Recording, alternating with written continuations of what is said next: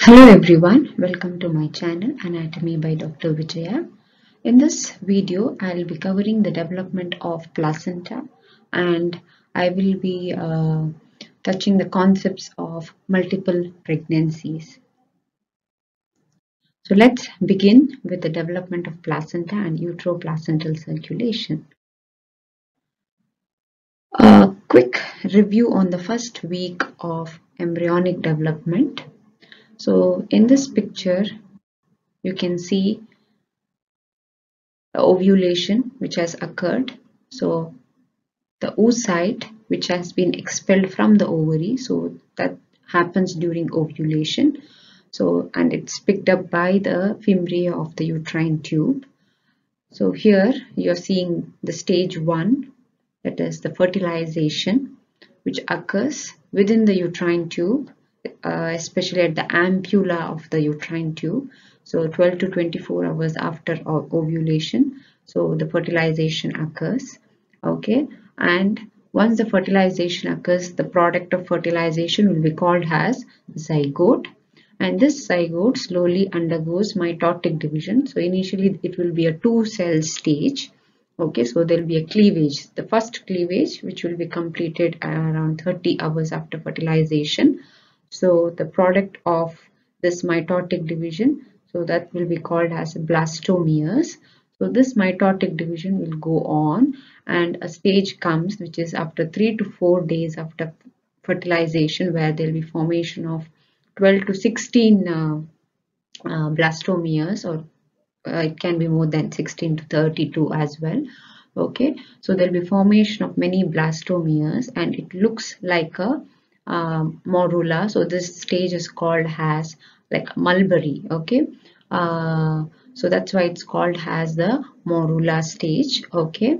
And uh, the division goes on and by by around four to five days after fertilization so the developing zygote enters the uterine cavity so once it enters the uterine cavity, the fluid within the uterine cavity enters the uh, uh, the zygote. Okay, so there will be separation of these blastomeres. Okay, so there will be formation of outer cell mass and inner cell mass. Okay, so outer cell mass will be called as trophoblast and inner cell mass will be called as embryoblast. So this outer cell mass which is called as trophoblast mainly helps in invading uh, the uterine, the endometrium of the uterus. Okay, so that process is called as implantation which occurs around six days after fertilization. Okay, so this trophoblast later develops into uh, placenta and inner cell mass which is called as embryoblast will form the proper embryo. Okay? So this is a quick review of the uh, first week of embryonic development.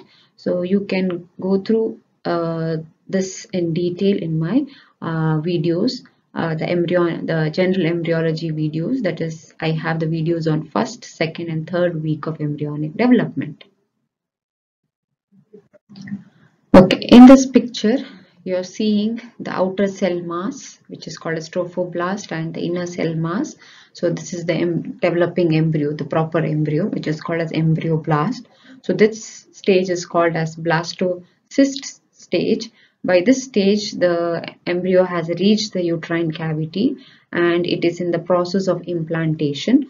So as I mentioned earlier, the outer cell mass, the trophoblast, mainly helps in the process of implantation. So here in this picture, the second picture you are seeing, the trophoblast is invading the uterine epithelium okay here you can see the stroma that is the endometrium of the uterus so you know that uh, uterus has three layers perimetrium then the muscle layer called as myometrium and the innermost layer will be called as endometrium which has the uterine glands and uh, blood vessels. Okay? So the part of the uh, uterine endometrium where the where the implantation of the embryo takes place so that stroma will be called as decidua. Okay? Uh, so here the trophoblast which later forms a placenta so they start invading the uterine epithelium So by the end of first week, at the beginning of second week, so the trophoblast, they divide into two layers. Okay, so one having a distinct uh, cell membrane with the round nucleus. Okay, so uh, that layer will be called as cytotrophoblast. Then the second layer, uh, which loses its cell membrane because they mainly help in invading the uterine endometrium during implantation. So that layer will be called as syncytiotrophoblast. Okay, so here in this picture you can see the purple one without the cell membrane. Okay, so that layer is called a syncytiotrophoblast, the one which is forming a boundary between the syncytio and the inner cell mass. So that is called as a cytotrophoblast which has a distinct cell membrane. Okay, so along with that inner cell mass also undergoes division. That is the embryoblast. There will be formation of two layers which you can remember. Uh, that is uh, there will be formation of hypoblast and epiblast and later further there will be formation of germ layers. Okay? So for that you can check my uh, general embryology videos for the uh, embryonic development. So here we'll be focusing on the development of placenta. Okay? So the syncytiotrophoblast mainly helps in invading. Okay? So uh, the syncytiotrophoblast doesn't have the uh, mitotic uh, property. Okay? So they don't undergo division. Uh, so the cells are uh, replenished by the cytotrophoblast so the uh, cells to the syncytia are mainly contributed by the cytotrophoblast which has the capacity to undergo division. But syncytia doesn't lose uh, they lose their capacity so their main purpose is to invade the uterine endometrium. Okay so the cells are replenished by the uh, cytotrophoblast. So as I mentioned earlier after the implantation of the embryo the uterine endometrium will be called as decidua okay. So there will be three types of decidua uh, so it decidua mainly refers to the gravid endometrium because the endometrium will be at the secretory stage. Okay. So there are uh, different phases of uh, uterine cycle. Okay. So there is ovarian cycle and uterine cycle.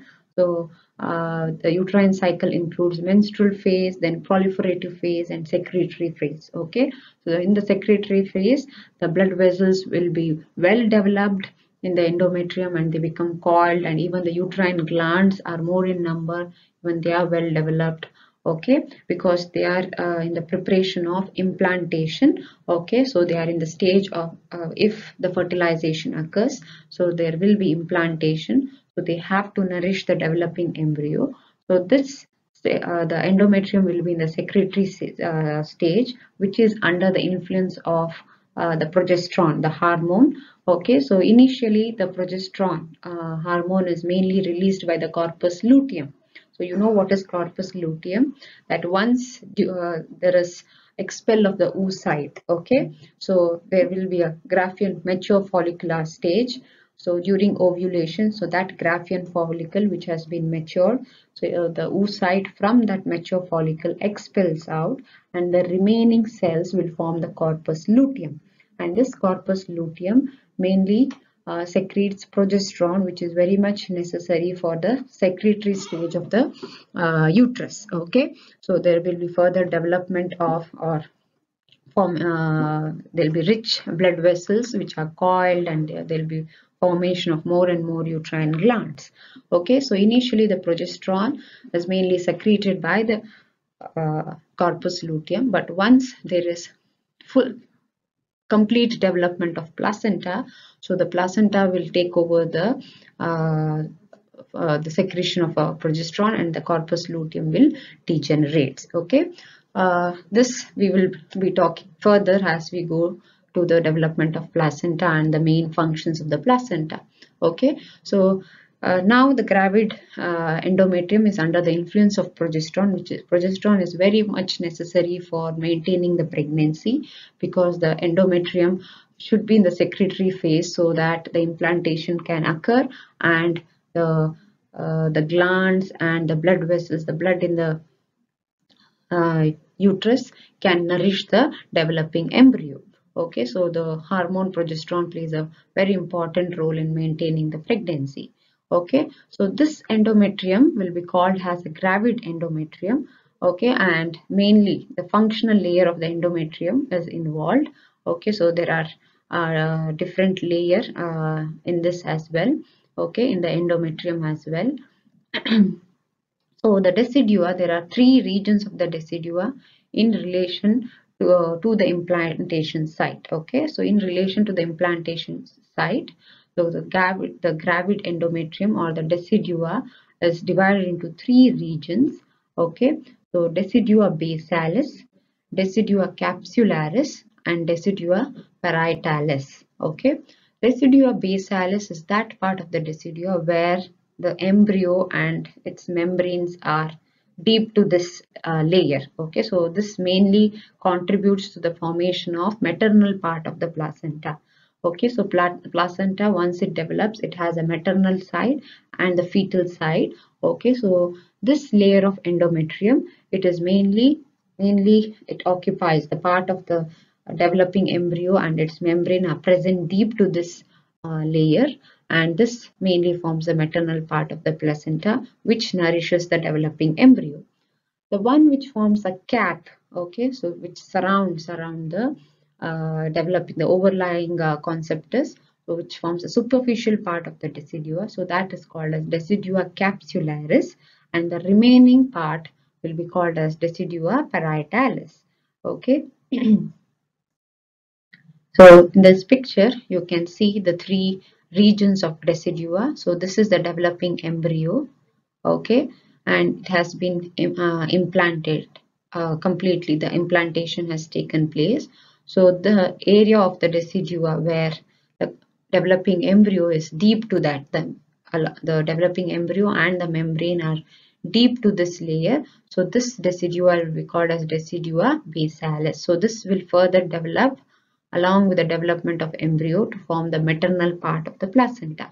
Okay, this is the uterine cavity. Okay, so this is when the trans uh, when you take a transverse section uh, exactly at the anterior or the posterior wall usually the implantation takes place at the anterior or the posterior wall of the body of the uterus okay so if you can remember the parts of the uterus it has a uh, the tubes are on either side. It has a fundus then a body then it forms the cervix at the lower part okay? So here you can see this is the fundus this is the body and this is the cervix. So these are the parts of the uterus okay? So the implantation normally takes place at the anterior or the posterior wall of the body of the uterus okay? So here the you can see this is the developing uh, fetus okay and here you can see there's complete development of placenta. So this light purplish color. So this is the decidua basalis. So which forms a maternal part of the placenta. Okay so this further develops uh, and that forms a placenta. So the one which is here which forms a cap okay this is a very thin layer. Okay so this is decidua capsularis and the remaining decidua which is on this is the uterine cavity. So all these the remaining one will be called as decidua parietalis okay so these are the three main region. So among these three region so basalis is the one which contributes for the development of placenta.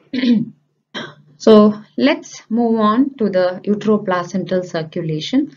So as i mentioned earlier trophoblast will be having two layers. So one will be invading the endometrium. Okay that uh, layer is called a syncytial trophoblast. The other one forms a boundary and they undergo division and they help in replacing the cells of the syncytial trophoblast. So those are called as cytotrophoblast. Okay so syncytial trophoblast within that layer there will be formation of small lumens okay the vacuoles appear. So that stage is called this is around at the day 9 okay after fertilization okay. So at this the lacunar stage the vacuoles appear in the syncytial trophoblast okay and these lacunae these are small okay and they uh, fuse to form the larger one. So this stage is called as a lacunar stage. Then during that is around day 11 and 12 so these spaces they form a network okay? So they communicate with the uh, neighboring one and they form an intercommunicating network okay? And as it goes on the cells of the syncytial trophoblast they go deeper and deeper into the uterine stroma and they erode the endothelial lining of the maternal capillaries.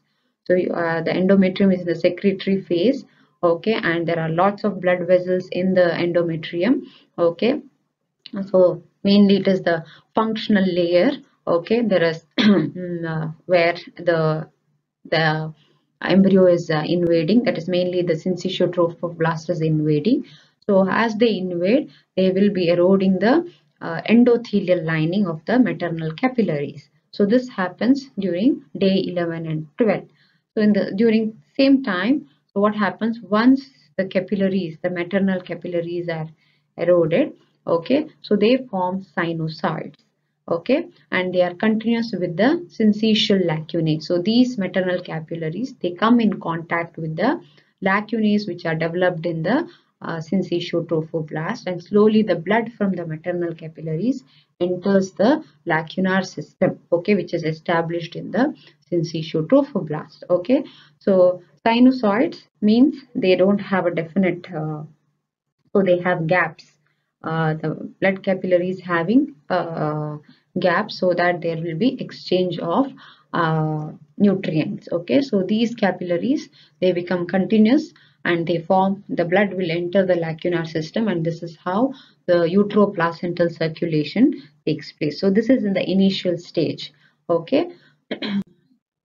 So here you can see in the picture so the green one the dark green one represents the syncytiotrophoblast which is eroding the stroma of the uterine endometrium. So this light green represents the cytotrophoblast having a definitive or a distinct cell membrane. Okay, and this is the developing embryo, the embryoblast, which is divided into epiblast and hypoblast. The blue one is epiblast, the yellow one is the hypoblast. Okay, so this is the cavity. So Slowly these are invading and you can see the blood vessels within the decidua. Okay, so in the endometrium, the gravid endometrium of the uterus.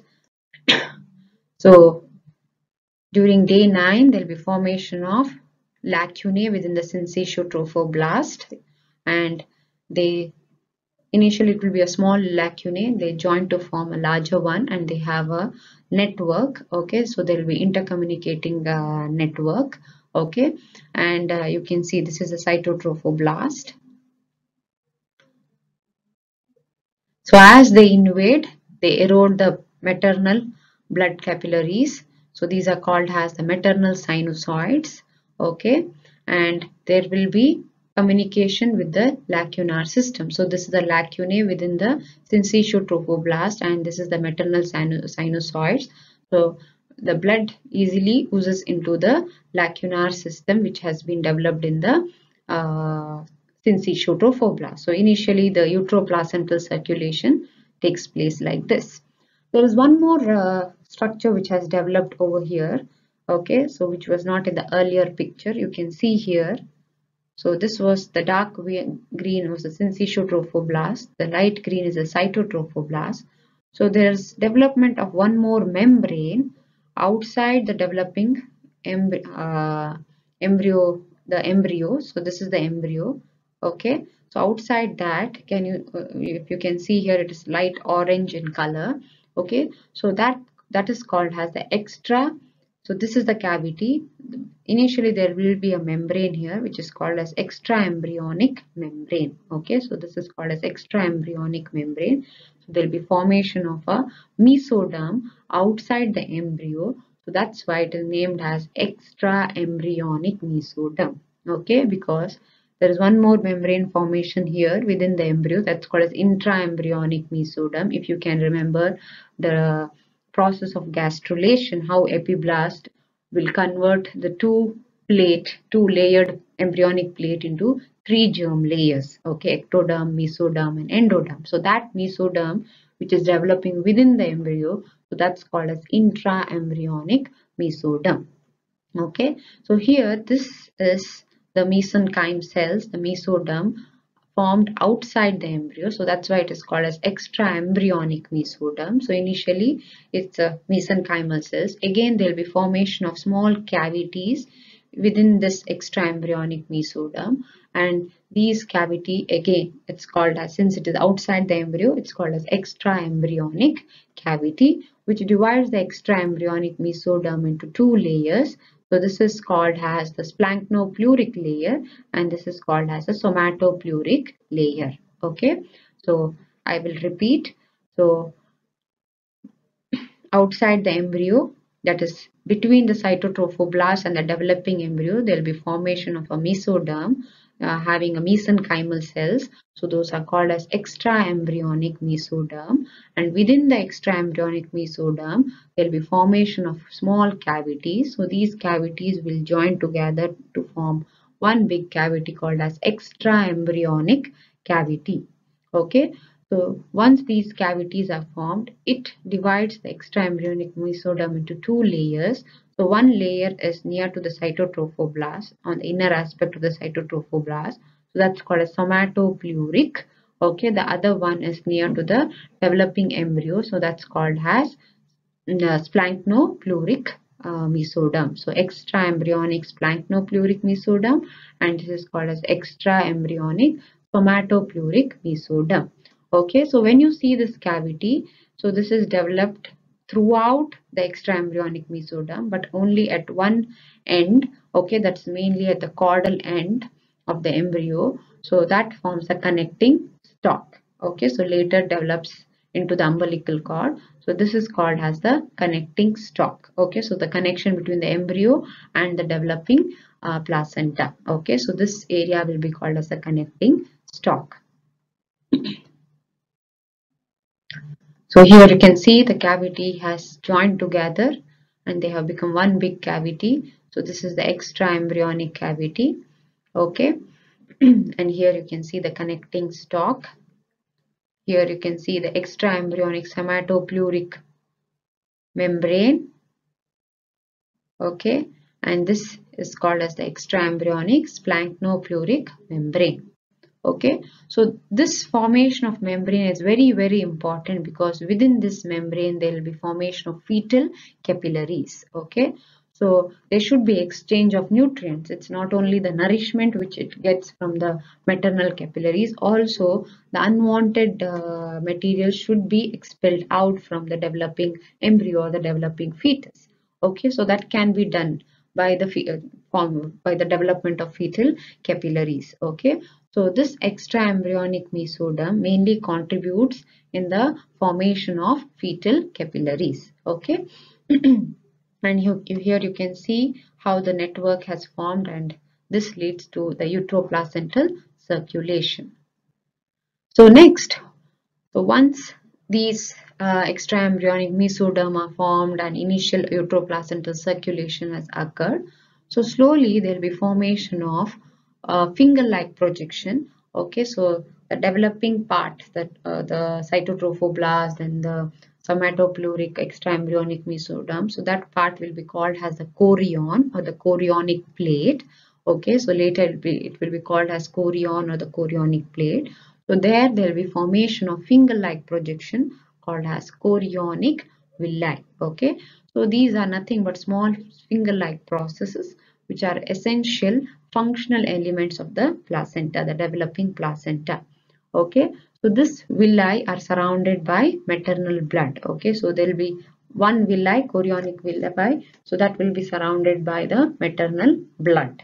Okay, and the fetal capillaries are formed in the substance of the villi. So here in the villi, within the substance of the villi, which mainly has a cytotrophoblast and the extra embryonic mesoderm, so within that extra embryonic mesoderm, there will be development of fetal capillaries. Okay, so they are formed in the substance of the villi and uh, surrounding the villi will be the maternal blood.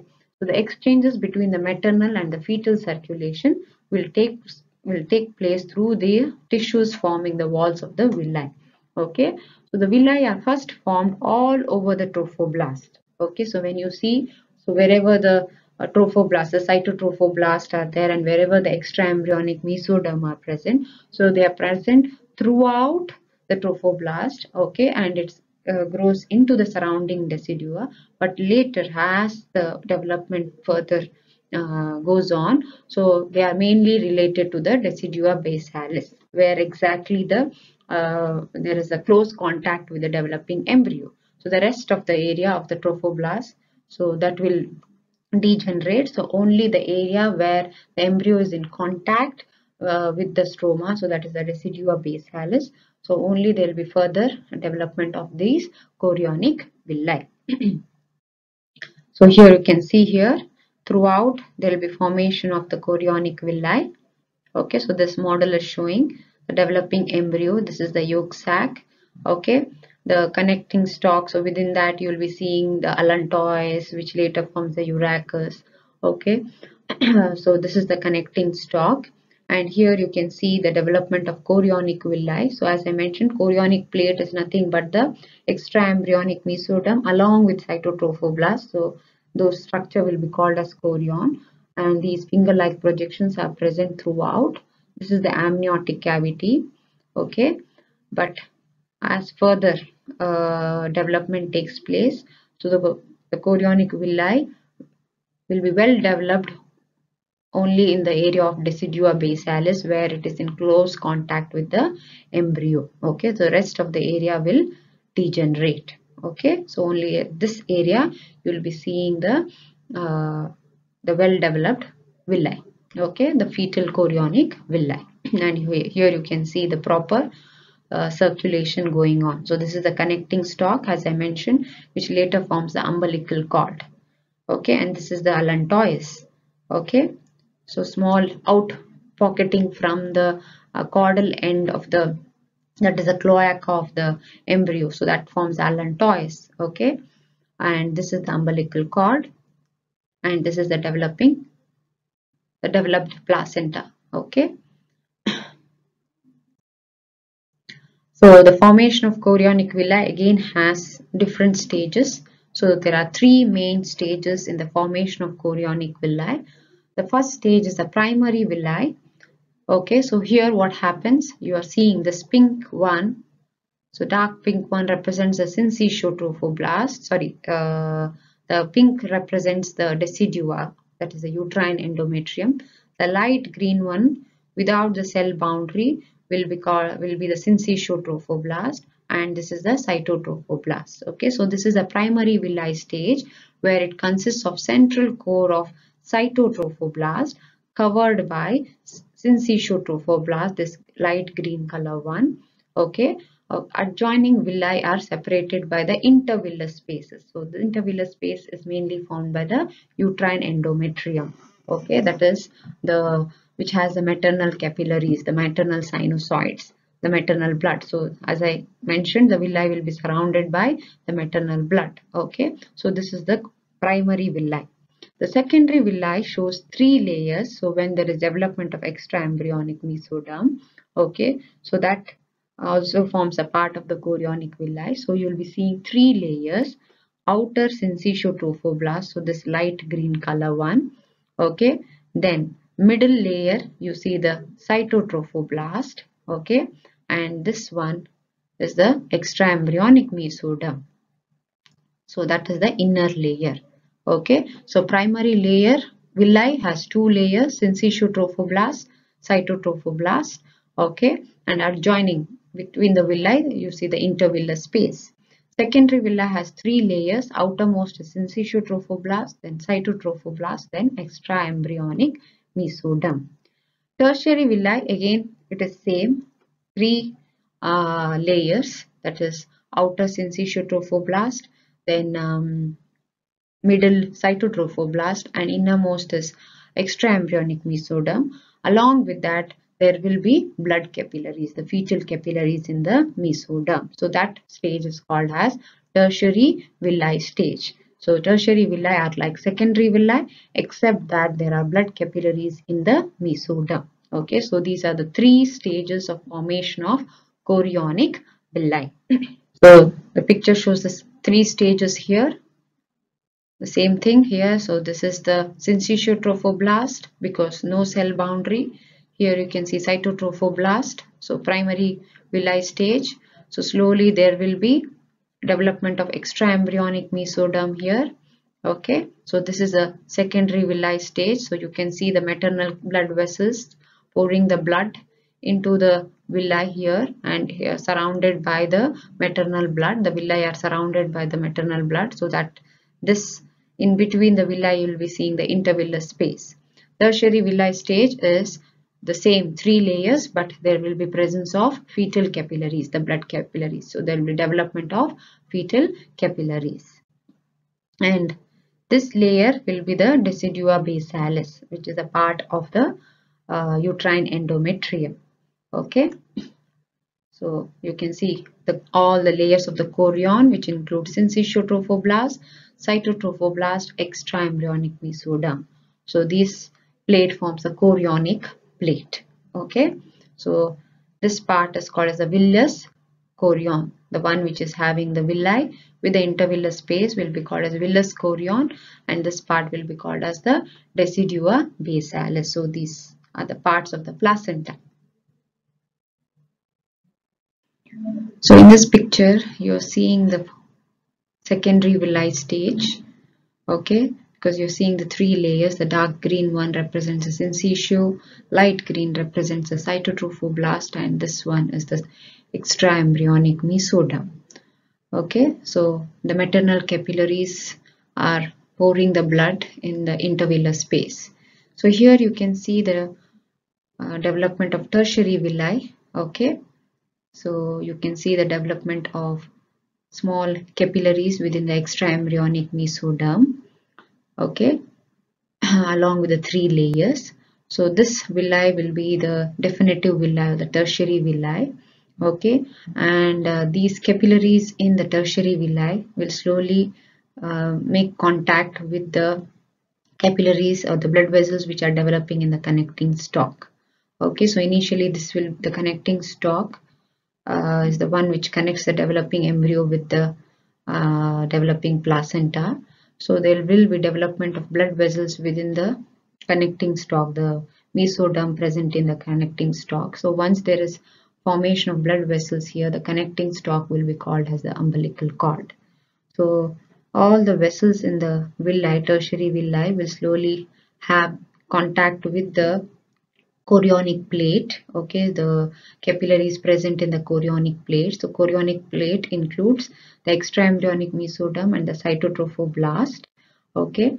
So slowly they have contact with the blood capillaries present in the chorionic plate and in turn they have contact with the uh, blood vessels developing in the connecting stalk okay. So this will have uh, communication with the blood vessels which are developing in the intraembryonic mesoderm okay? Uh, uh, which is developing within the embryo okay?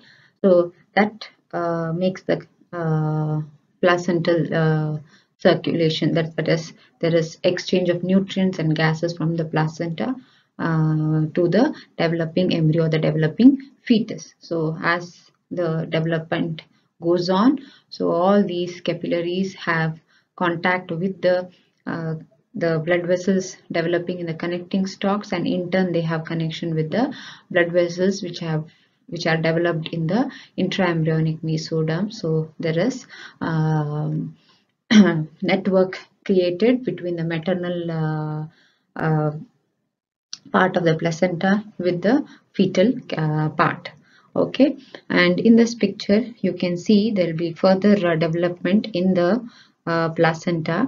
So this is the villi. So this villi will be called as the anchoring villi or the stem villi. So uh, the villi which extends from the chorionic plate. So this is the chorionic plate having the extraembryonic mesoderm and the cytotrophoblast. So the villi which extends from the uh, the chorionic plate till the uh, the uh, endometrium okay? So that part will be called as the anchoring villi or the stem villi. But uh, from the stem villi there will be development of some branches. So that will be called as free villi okay? So this is the one where we will have a direct contact with the maternal blood which is uh, uh, pouring into the intervillous space. So this is the intervillous space where all the maternal uh, blood will pour into that okay? And these free villi okay uh, the branching one will have direct contact with the maternal blood and there will be exchange of nutrients and gases okay and this is the anchoring villi or the stem villi so further changes what occurs is the, the, the changes in the cytotrophoblast and there will be formation of outer cytoblast, cytotrophoblast shell. Okay, so here you can see from the villi, from the stem or the anchoring villi, the cytotrophoblast, they start penetrating. So they progress in penetrating until they reach the uh, endometrium. Okay, so they penetrate from the villi they pass through the syncytiotrophoblast and uh, they penetrate uh, until they reach the uh, uterine endometrium. So once they reach there, they form connection with the neighboring uh, uh, penetrating cytotrophoblast. So this is one villi. So you are seeing here the cytotrophoblast are penetrating. Okay, this is the other villi. Here also you are seeing the penetration of the cytotrophoblast. So once they come and reach the uh, uterine endometrium, they form contact with the uh, neighboring uh, cytotrophoblast and they form a thick shell forming outer cytotrophoblast shell. Okay, so this develops throughout the trophoblast and uh, it helps in um, attaching the chorionic sac. Okay, so chorionic sac firmly with the endometrium. So this mainly helps in uh, firm attachment between the endometrium and the uh, chorionic sac. So this shell is important in firm attachment. So this is called as the outer cytotrophoblast shell. Okay, so here you can see the connecting stalks, the blood vessels are developed. Okay, and this is the chorionic uh, plate having extraembryonic mesoderm and the cytotrophoblast. This is the anchoring villi or the stem villi. And these are the branching okay which are called as free villi. And here you can see the penetration of the cytotrophoblast to form the outer cytotrophoblast shell. Okay. And this is the intervillar space where you see the maternal blood so along with the tissues of the decidua basalis uh, that is the uh, the endometrium which is in contact with the embryonic side the embryonic pole so along with that tissue and the villi, so that forms a disc shaped mass called the placenta. Then the blood vessels within the villi uh, will have will be connected to the vessels in the connecting stalk. So there that is the vessels which are developed in this connecting stalk. So those are umbilical vessels. So once there is development of blood vessels over uh, in the connecting stalk, so that structure will be called as umbilical cord. So you will be seeing uh, two umbilical arteries and umbilical one umbilical vein. So here you you, you can see uh, uh, one umbilical vein and two umbilical arteries here.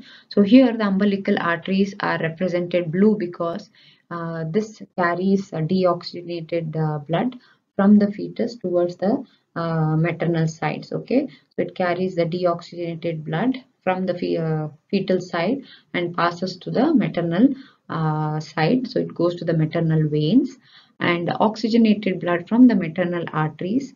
So that will pour into the intervillar space. Okay.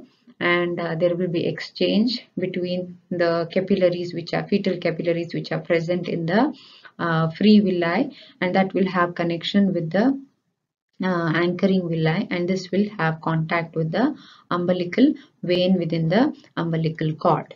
Then the maternal blood circulates that uh, circulates through the intervillar space and from there it comes to the umbilical vein and from umbilical vein has a contact with the blood vessels which have been developed in the intraembryonic mesoderm. so this is how the connection develops and this is how the placenta helps in exchange of nutrients and uh, yeah, and there is also gaseous exchange as well. So this is the fully formed uh, placenta. So this is the maternal side. So the maternal side of the placenta is uh, subdivided into number of lobes by uh, develop uh, due to the development of a septa. Okay, so you can see from the maternal aspect a layer of connective tissue develops so that's called as a septa which uh, grows into the intervillar space okay? So this subdivides the maternal subdivides the maternal side of the placenta into number of lobes okay? And that will be called as cotyledon okay? So this is the one uh, cotyledon having uh, one anchoring villi with their branches okay. And uh, uh, on either side you are seeing the septa with the intervillar space. Okay. So this is the septa which is growing into the intervillar uh, space from the maternal side. Okay. So each lobe of the placenta is called as the maternal cotyledon okay? So that uh, so wherever uh, usually due to the formation of these cotyledon so the maternal side of the placenta will be rough and the fetal side will be connected to the umbilical cord and it will be smooth. So that will help you to once the uh, placenta is expelled out after the delivery okay so you can uh, make out which is the maternal side and which is which is the fetal side. So maternal side will be rough with the uh, different lobes. Those are cotyledons and the fetal side will be connected to the umbilical cord and they they'll be smooth. Okay? So the placental surface. So this is the fetal surface the fetal side which is connected to the umbilical cord and you are seeing uh, the surface will be smooth this is the maternal side, the maternal surface having cotyledons. Okay. and it is covered by decidua uh, basalis. So here you can see these are the chorionic vessels which are within the chorionic plate. So chorionic plate includes the extraembryonic mesoderm and the cytotrophoblast and also it has a part of syncytiotrophoblast as well so fetal and the maternal surface. So this is the picture of a real placenta. So you can see these are the lobes the cotyledons. You can see the grooves so it will be rough. And the, this is the maternal surface. The other side will be the fetal surface which is smooth. And you can see chorionic vessels underneath the amnion. Okay so amnion uh, membrane looks uh, smoother okay. And this is the umbilical cord having the umbilical vessels. So this is the cut section of the umbilical cord. So you can see here two arteries and one vein. So the umbilical cord developed it's apart from the connecting stalk connects the placenta to the fetus. So contains two umbilical arteries one umbilical vein. So and they are mainly suspended in a gel kind of material which is called as Wharton's jelly. So this picture shows the placental circulation, the fully formed, uh, the circulation occurring in the fully formed placenta. So all the cotyledons, so you know what is cotyledon?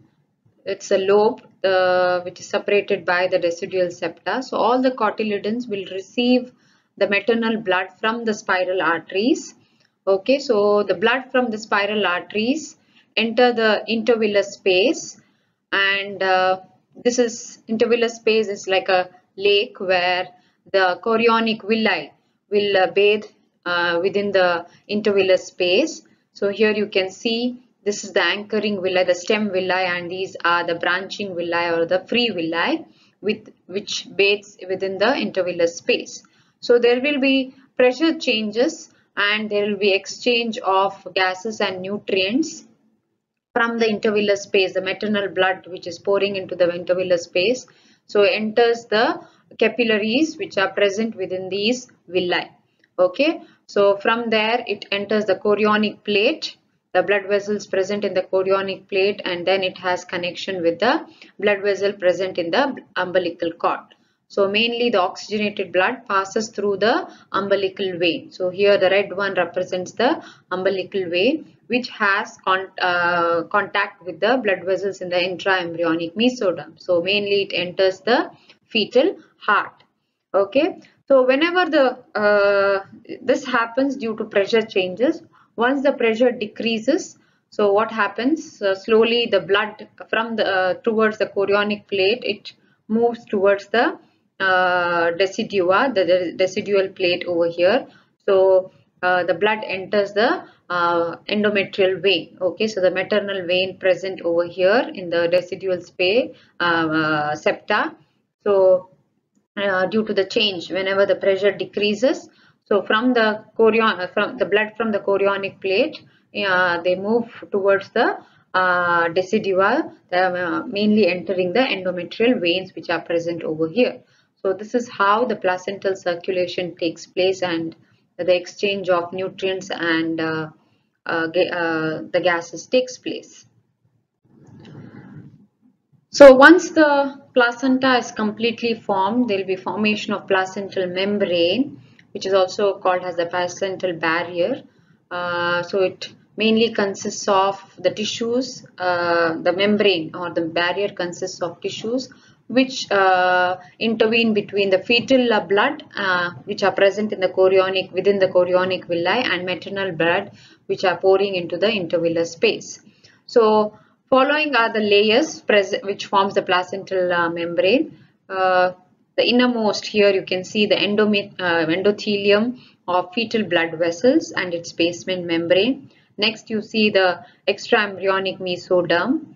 Okay, this light green color. Then the cytotrophoblast and its basement membrane and syncytiotrophoblast. Okay, so here you can see the maternal blood. So this forms a barrier, the placental barrier and these are the layers forming the barrier. So as the fetal uh, development progresses, so there will be uh, more demand of uh, nutrients and uh, mainly the oxygen. So what happens? The, the barrier becomes thinner. Uh, initially, uh, this is during early week where the barrier is formed by four layers. But as the fetal development goes on, by the end of uh, fourth month, okay, so the barrier becomes thinner and there will be only the uh, the endothelium of the fetal uh, blood vessels and the syncytiotrophoblast. So cyto and connective tissue might disappear so that there is uh, more diffusion of the metabolites and the gases. So this occurs as the fetal development progresses further and when whenever there is uh, more demand for more metabolites and gases. So here you can see so the villus blood, uh, blood vessel. So you're seeing just the, the, the barrier or the membrane has become thinner compared to uh, the earlier weeks. Now coming to the functions of placenta. So the main function of placenta is the exchange of metabolites and gases. So it's a site of nutrient and gas and waste exchange. So nutrients and gas uh, that is gases mainly include the oxygen so that travels from the maternal side to the fetal uh, capillaries and uh, the carbon dioxide uh, and the waste uh, from the fetal capillaries move on to the uh, endometrial side so this the placenta's main function is exchange of metabolites and gases not only that it also secretes hormones which help in maintaining the pregnancy so as i mentioned earlier uh, during early week before the placenta is completely developed. The maintenance of the pregnancy is mainly uh, done by the corpus luteum because for maintenance uh, progesterone is very much necessary. So progesterone is secreted by the corpus luteum and once the placenta completely develops so that function is taken up by the placenta that means it secretes progesterone to maintain the pregnancy. Along with that it also secretes uh, estrogen, especially the higher amount at the end of the pregnancy for um, maintenance of the uterus, uh, uh, uh, the thickness of the uterus, and also for the development of uh, uh, mammary gland. Okay, uh, at the earlier weeks, the uh, the syncytiotrophoblast mainly secretes a human chorionic gonadotropin, which is very much necessary for the a maintenance of corpus luteum so that it keeps secreting the progesterone till the placenta completely develops okay so hcg it's mainly uh, secreted by the syncytiotrophoblast hmm. and uh, placenta also forms barrier for harmful substances okay uh, so it uh, forms a thick barrier so that only the necessary metabolites and gases gets exchanged and um, the mainly prevents the uh, for, uh, barrier for the many bacteria and viruses. Uh, Placenta also uh, provides maternal antibodies, especially IgG, immunoglobulin, uh, IgG, uh, to the fetus so that uh, it gives immunity to the uh, fetus, the growing fetus. So these are the main functions of placenta. And here you can see the harm, harmful substances like drugs, poisons and carbon monoxide viruses like rubella, cytomegalovirus, then tox, toxoplasma gondii. So all these are prevented uh, uh, due to the presence of this uh, placental membrane or the placental barrier. Now coming to the clinical aspect of uh, placenta. So there are two main common placental abnormalities. One is placental abruption or abruptio placenta. The other one is placenta previa. So here you can see three pictures. The first picture shows the normal formation of the placenta which is on the upper uh, on the lateral upper lateral aspect over here. Okay, so this is a normal placental development. Here you can see placental abruption. So uh, in this condition there will be early separation of placenta from the inner wall of the uterus before the delivery of the baby. Okay, uh, so usually this will disrupt the oxygen and metabolites which has to be transferred to the fetus. So the fetus will be uh, disrupted with the oxygen and uh, uh, essential nutrients. So then the mother can have a heavy bleeding uh, due to this. Okay, so this can be fatal to the uh, both mother and fetus. The next is placenta previa. So where the placenta is seen on the lower part of the uterus. So sometimes it uh, uh, covers the cervix partially or completely.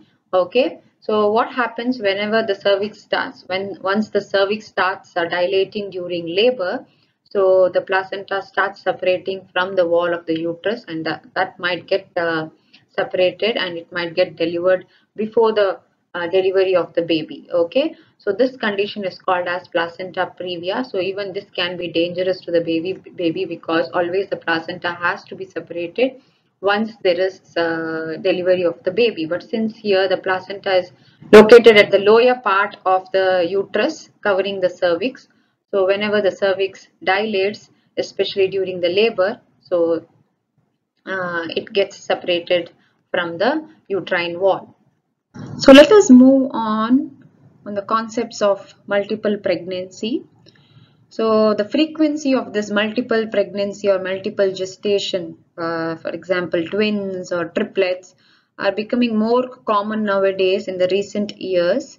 So the reason being one can be due to the increase in the age of the mothers uh, while giving birth to infants.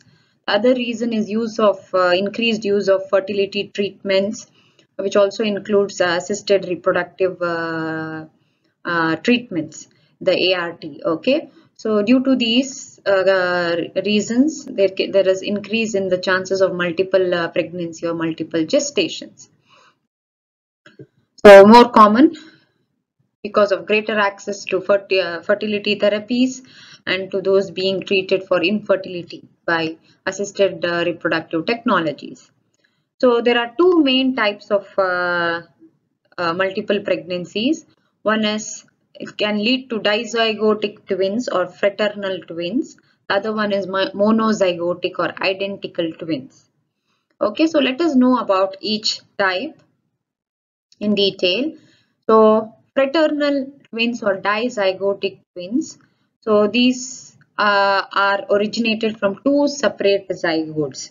So this is very common uh, due to simultaneous uh, shedding of two mature oocytes and uh, the two oocytes are separately fertilized by uh, different spermatozoa. So there will be formation of two separate zygotes which implant individually in the uterus and once they get implanted there will be formation of their own placenta, amniotic cavity and the chorion sac. So each zygote and each embryo will have its own placenta, amniotic cavity and the chorionic sac.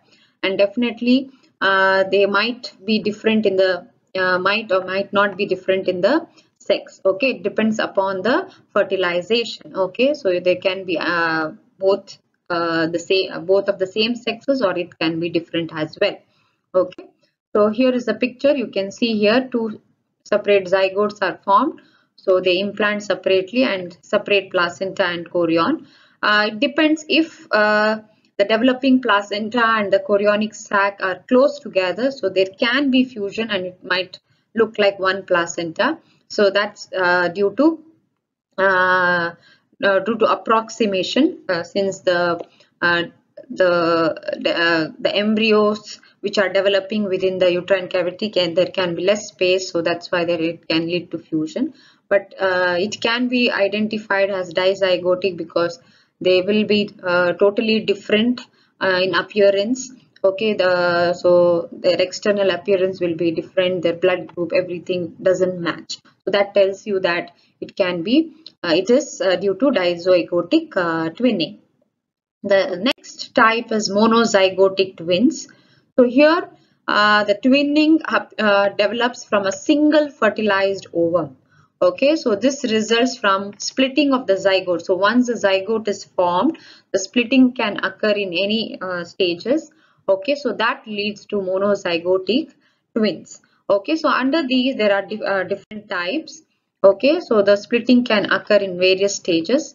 So one stage is where the splitting can occur once the zygote is, is in two cell stage. As I mentioned earlier, zygote undergoes mitotic division. So first there will be formation of two cells, okay, uh, that is the cleavage division. So if the splitting occurs during that stage, so definitely they will have separate inner cell mass and outer cell mass.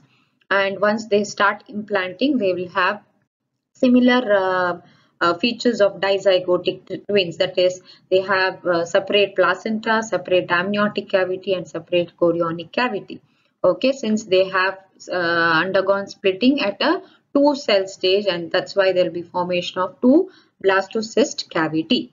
Okay so this might have these features of uh, dizygotic uh, twins okay but this can be identified as monozygotic because they have they uh, resemble they have a higher resemblance in their blood grouping finger uh, uh, printing and uh, even the sex and the external appearance. So this will tell that this is due to um, monozygotic twinning. The next uh, uh, splitting can occur during the blastocyst stage. Okay so here once uh, uh, once the inner and outer cell mass is formed. Okay so the uh, there can be formation there can be splitting at the blastocyst and there will be two inner cell mass. Okay so what happens in this if the splitting has occurred at the early blastocyst stage so the uh, twins can have the embryo can have uh, same placenta same chorionic cavity but two amniotic cavity because there will be formation of two inner cell mass okay? So amniotic cavity develops uh, in the inner cell mass but placenta and chorionic cavity from the outer cell mass. So since they have one outer cell mass so there will be one placenta one chorionic cavity but two amniotic cavity okay so that tells that the splitting has occurred at early blastocyst stage the later the splitting can also occur, the splitting at the bilaminar disc stage once the two laminar that is epiblast and hypoblast is formed. If the splitting occurs at during that stage, so the uh, developing embryos will have all the cavities, all the membranes in common. That is, they have one placenta, one chorionic uh, cavity and one amniotic cavity. Okay, so these are uh, three different stages where the monozygotic twinning can occur okay so stage when zygote splits if it splits during two cell stage so the placenta will be separate chorionic sac will be 2 amniotic sac will be 2 if early if the splitting occurs during early blastocyst then single placenta single chorionic cavity but two amniotic cavity because there will be two inner cell mass if the splitting occurs during bilaminar germ disc stage the placenta will be single, chorionic cavity single and amniotic cavity is also single. Okay, so these are the different stages. If the splitting, there are some condition, abnormal condition uh, where uh, if the splitting occurs at the very later stages of development, especially once the primitive node and streak are formed. So this leads to a condition called as conjoined twins. Okay, so it depends upon where the splitting has occurred, where if the splitting has occurred um, uh, incompletely, so that leads to a condition called as conjoined twins. So there are different types depending upon uh, the location where the splitting has occurred. So here are the few examples of conjoined twins. So here you can see uh, this condition is called as dicephalus. So one body with two heads. Then craniopagus where the occipital uh, part of the head has been fused. Xiphopagus, thoracopagus. So these are the few examples of conjoined twins. So multiple pregnancy is always considered as a high risk pregnancy because uh, there is high, higher chance or higher incidence of uh, uh, preterm uh, delivery. Okay, so the the twin uh, the twins can be delivered uh, before the term, and also they have the the there is higher incidence of babies of baby babies delivered with low birth weight. Okay, and uh, sometimes uh, during early trimester there's a condition called as vanishing twin. So one of the uh, baby uh, might disappear. Uh, so this usually uh, occurs in the early trimester. Or sometimes there can be compromise in the blood flow from the placenta. So one the one of the twin can have the more blood from the placenta and the other other twin baby uh, can be compromised with the blood flow. So this can lead, uh, lead to uh, the baby with the compromised blood flow can have lower birth weight and slow in the growth rate. Okay so these are this is about the multiple pregnancy. Some of the other clinical correlates related to amniotic fluid. Uh, so amniotic fluid is uh, the fluid which is present in the amniotic cavity and it is very important for the development of the embryo and the fetus. So the uh, condition, the clinical aspect related to amniotic fluid is the polyhydramnios or hydramnios which is very common and the other one is oligohydramnios. So in polyhydramnios there will be increase in the amount of uh, amniotic fluid which is which will be around 1500 to 2000 ml. So the causes can be idiopathic or sometimes uh, it can be due to if the mother is suffering from uh, diabetes, okay, gestational diabetes or sometimes uh, the maybe due to congenital anomalies like if the baby is having some central nervous system defect especially uh, anencephaly in a condition anencephaly the uh, the polyhydramnios are very common and also in conditions like uh, atresia okay? Uh, esophageal atresia. So the the the baby the embryo uh, or the fetus has difficulty in um, swallowing the amniotic fluid. So in these conditions um, the mother can present with polyhydramnios or also called as hydramnios. Uh, oligohydramnios is a rare but it can usually uh, occur due to renal agenesis or um, especially when there is a, a, problem with the renal development. So in this condition, there is no uh, sufficient amount of uh, amniotic fluid within the amniotic cavity that might um, constrain the uh, fetus. And usually the fetus might have club foot. And there is no enough amount of amniotic fluid uh, which can go to the lungs uh, because for the development of the lungs uh, amniotic fluid is very much necessary and the baby can have lung hypoplasia. Okay so these are some of the uh, uh, conditions uh, related to amniotic fluid. And there are conditions related to umbilical cord abnormal abnormalities. So during birth, the umbilical cord is around 1 to 2 centimeter in diameter and 50 to 60 centimeter in length. Uh, some uh, fetus can have a short umbilical cord, so this might affect the intrauterine movement of the fetus. So usually the length of the umbilical cord is reflected with the intrauterine movement of the fetus. uh, or sometimes if the umbilical cord is very uh, lengthy it can um, uh, go around the neck of the fetus and uh, it can be risky while deliver delivering the baby okay so these are some of the clinical aspects uh, related to amniotic fluid and the umbilical cord so that completes uh, the development of placenta and also I have covered the concepts of uh, multiple uh, pregnancy. Thank you for watching.